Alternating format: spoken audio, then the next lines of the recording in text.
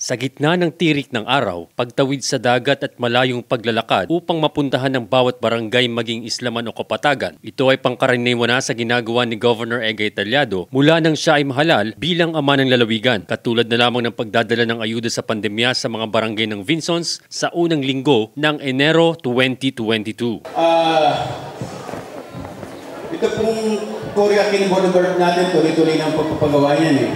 Ngayon pong taon, may umpisahan na tayo dito sa portion ng Sabang. Sabang.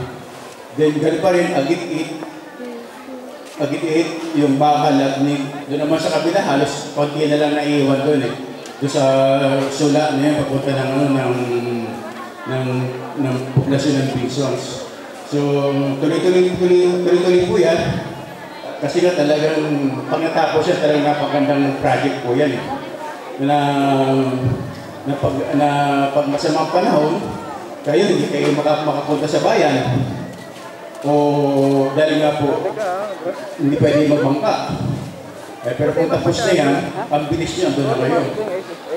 Ang anim na barangay ng Vinsons na napuntahan ay ang Kagbalugo, Sula at Sabang sa umaga at bandang hapon naman ay Agit-it, Matango at Manlukugan upang maghatid ng food packs at mahalagang gamot sa mga residente doon. Hindi naman lingid sa mga punong barangay ang kahalagahan ng nabanggit na gawain. Ito pong ginagawa ng team gawa ni Gobernador Enrique Talyado ay talaga naman pong taon-taon namin inaasahan.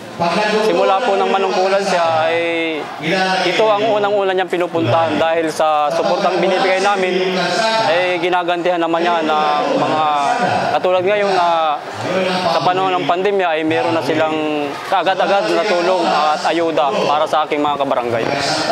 Ay kami po ay nalubos na ulbos na nagpapasalamat siyempre po sa ayuda ng ating gobernador sapagkat po halos sa panahon baga po ng pandemic ay talagang nahihirapan ang mga tao sa kanilang paghahanap buhay. Kaya malaking tulong po itong ayuda na maibigay sa atin na naibigay po sa atin ng ating pong minamahal na Gobernador Egay Talyado.